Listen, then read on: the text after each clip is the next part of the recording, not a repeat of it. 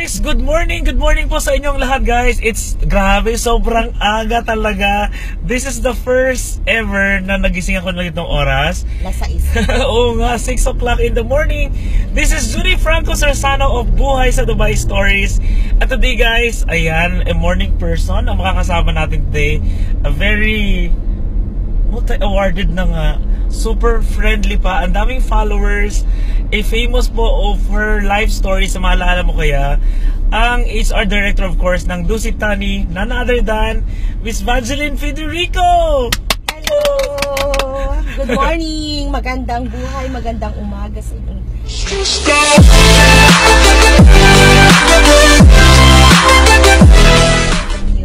Na Totoo kasi di ba pag if you're, if the staff kasi is masaya sila, they can think of good things eh. Di ba? How can they improve pa yung sarili nila and all. Kasi unlike nung nasa floor na tapos nag, na bad mood siya bigla, eh hindi talaga maiiwasan na maipasa niya yung negativity sa client. So that Exactly. reflects the business. Exactly. Very Kaya yun. Pero let's go back to singing.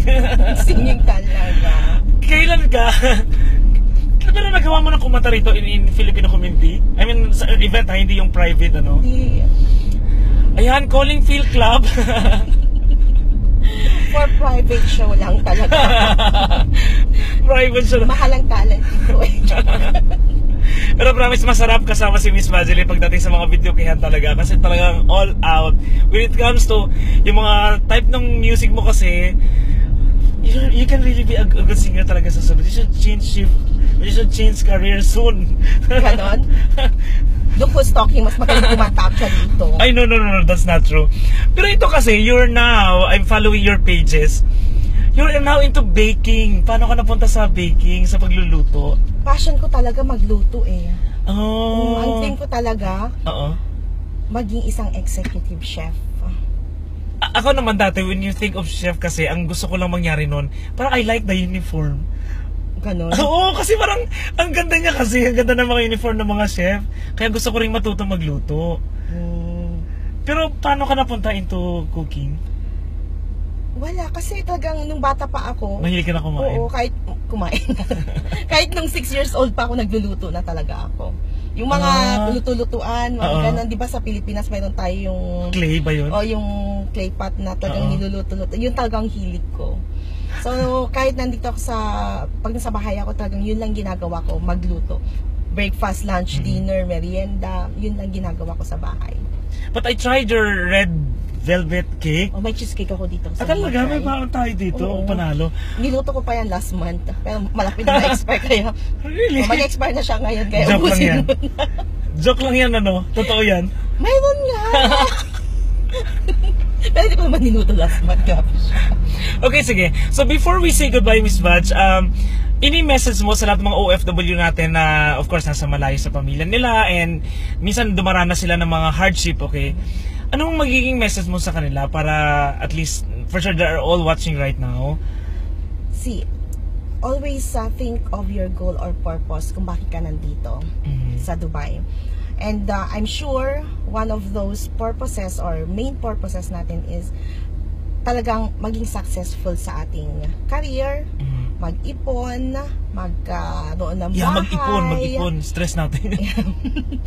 magkaroon ng bahay, magkaroon ng magandang kinabukasan ng ating mga anak, ang ating pamilya. So, I believe we, pare-parehas tayo ng rason Mhm. ng pagpunta dito sa Dubai kasi hindi naman tayo natin iiwan ang ating pamilya back home or ang ating bansa if we have already um, everything there to Mhm. make our dream come true. So, pagpunta mo dito sa Dubai, always put your your goal on top of it. ah. Kung may paghihirap ka, may mga pagsubok kang dinaranas, isipin mo yung goal mo para hindi ka agad mag-give up pa.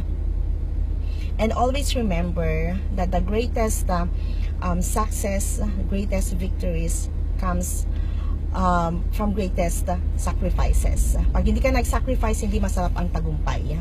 Totoo. So, uh, kailangang i-value mo lahat ng mga nangyayari.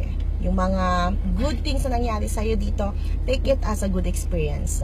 Yung mga bad things na nangyayari, take it as a good lesson learned. Because those lessons, those ex- bad experience actually, yun yung magpapatibay sa'yo, yun yung magpapatatag sa'yo. And always remember, it's a risk not to take a risk. Yun yung laging sinasabi ni Okay, so it's a risk Maktoum. not to take a Yes. risk. If you don't take risk, sabi nga ni Sheikh Maktoum, you are putting yourself into risk. ah. How was it pala? Pwede ko bang i-share yun online? Yes. Na my God, parang nasa isang Yeah. chopper ka, kasama mo si Maktoum. Hindi, hindi naman si Sheikh, Sheikh Maktoum. Ah. So, Sheikh nang nasa Kaima yun. Ah, okay. Oh, pero um, y- I watched one of his speeches kasi nung uh, dito sa Dubai and doon talaga ako namangha sa kanya when he shared uh, about his dreams uh, ng Dubai. Yung sinabi niyang uh, sinasabi nila kay Sheikh Maktoum doon that he cannot do anything sa Dubai kasi Oo. it's made of clay, walang napakainit, ay Oo. clay sand, Oo. na walang building na maipapatayo dito. But the tallest building is here in Dubai. Yeah. Right? Sinasabi nila kay uh, uh, Sheikh Maktoum noon na walang mangyayari sa Dubai, walang kuryente noon. But he said, I will put electricity, I will build the tallest building in this country, and I will make Dubai number one in the world. Which is, Which is happening. so yun lang palang Yeah. kailangan nun. And he said, the only secret is to take the risk. Kaya, don't be complacent. ah. Kailangan you have to go out of your comfort zone. ah. Kung nandun ka lang sa bagay or sa place na komportable ka, walang mangyayari sa'yo. oh, yan ka na lang. Alam mo na yung magiging end ng storya mo. Yes, exactly. So, it doesn't matter kung mabagal ang pag-forward mo, but at least move forward. Go out of your comfort zone. Whether you walk, you crawl, you run, you have to move forward. ah. So, uh, take that challenge and take that risk in your life. ah. Dahil nung punta tayo dito, it's already a risk. ah. Oo, totoo Right? Kasi hindi naman yes. natin alam kung ano mangyayari It's a big sa atin. risk. Yes, it's a big risk. Oo.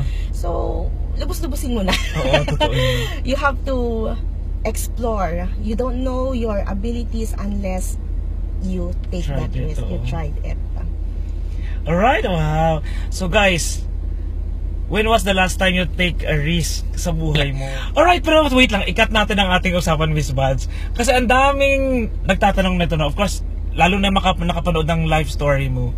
Kumusta naman ang buhay, pag-ibig ni Miss Vajeline Federico? Kailan ka na nga ba ikakasal? Totoo ba yung chismis? Uh, i- ika- ikakasal? Ay, hindi, wala ba? Chismis lang masakal, yun. no? Ay,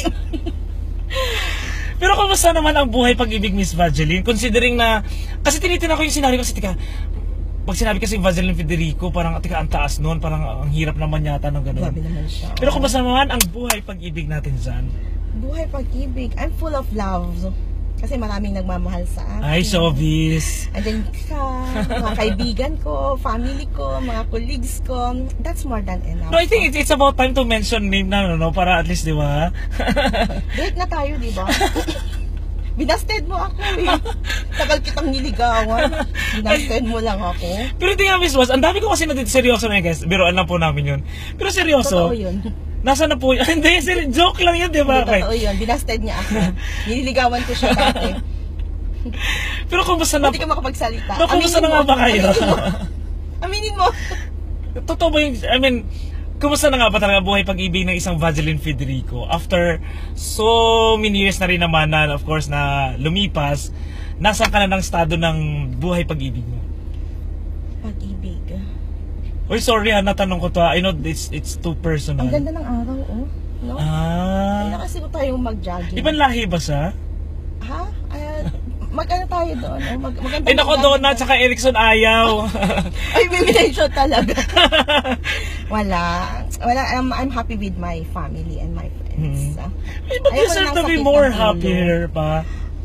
More happier pa. Di ba ang ganda ng English ko? Happiness naman is within you. Hindi mo na kailangan pa maghanap ng ibang tao para sumaya. So paano yung, akala ko you, you have someone sa, doon sa ano, eh, Saan? hindi pala totoo yun. Saan? Nawala lang kasi alam mo na, sa circle of friends, na, magsinungaling. oo, akala ko kasi you have boyfriends sa, na ibang lahi from out there. Marami akong boyfriends. Ah, Mm. asa talagang negative pa yung makukuha natin sa ngayon? Wala Maraming pa. boyfriends. Katulad mo, well, you are one of my boyfriends. Nga, I know that. Mm, si Best Tom. Hello, Tom. And marami, marami kang mga boyfriends. Pero maraming nanliligaw sa'yo dito sa ano, na ibang lahi. For sure, no? Kasi, Kasi zero ka talaga. no, I mean, imagine, sorry guys ha, ch- kunyari wala kayo. Pero I mean, sa dami ng ibang lahi na nakakasalamuha mo, and unfortunately, Takot lahat sila sa akin. ay what? Seryoso? Matapang daw kasi ako. Okay, sige. So wala talaga tayong makukuha pa guys. Baka sa next episode natin, makukuha na natin ang sagot natin dyan. diba? So, again, thank you so much Miss Vaseline for Yes. giving me time na makasama ka this morning sa iyong pink car. Yeah, so magja-jogging na tayo? Oo.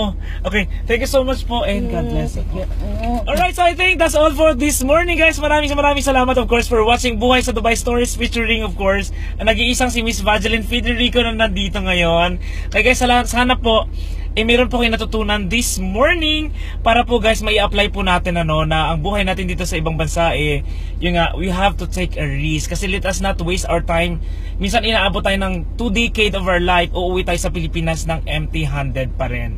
Kaya sa lahat magandang magandang umaga and God bless. Enjoy your weekend. Bye! Ooh. you know what guys kompleto. Ito, I think this is the first interview na meron ako. Pero ano ah, hello kay Ayon Gonzaga of course, ng Boy Dubai, tsaka kay Chris Colomberan. Pero kasi ito kompleto. Meron akong coffee, meron akong water, meron akong cake, meron akong jacket, meron akong shoes, meron akong cash na 15,000 pang ano ko daw, pang one night ko lang sa Burj Khalifa. Hindi, joke lang. Ganon. Oo. Wow, okay, let's eat guys. Okay tayo.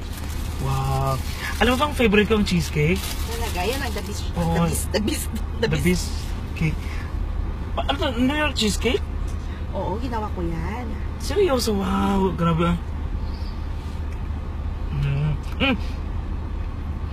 Grabe ang sarap niya. Hindi yung katulad ng sobrang jelly-jelly ang dating na, na, na cheesecake. Of course naman, no? This is more than a 7-star standard. Ah, kaya. Wow. Hmm? Hmm, ramdam na ramdam ko yung ano niya. Maraming sis yan. Hmm, Kaya kasi if you kasi if you are a cheese lover kasi lalo na yung New York cheesecake. Ano siya kasi parang nagiging fluffy siyang ganon, gawa nung nagiging jelly yung ano ng cake nila.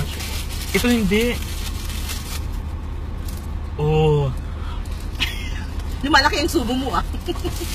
Hello!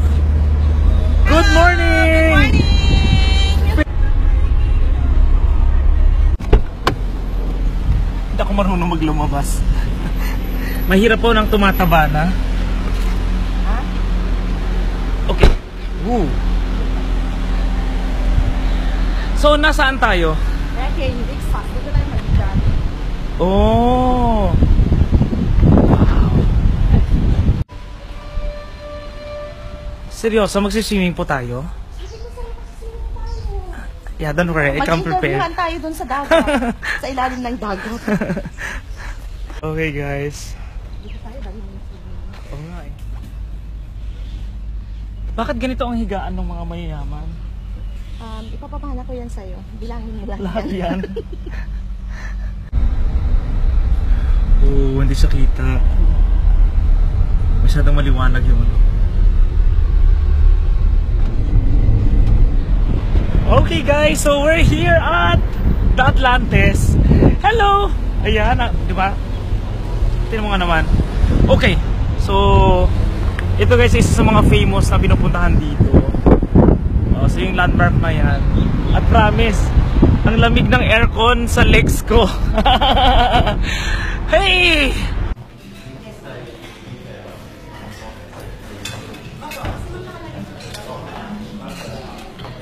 Okay, so it's breakfast time. Hello, good morning.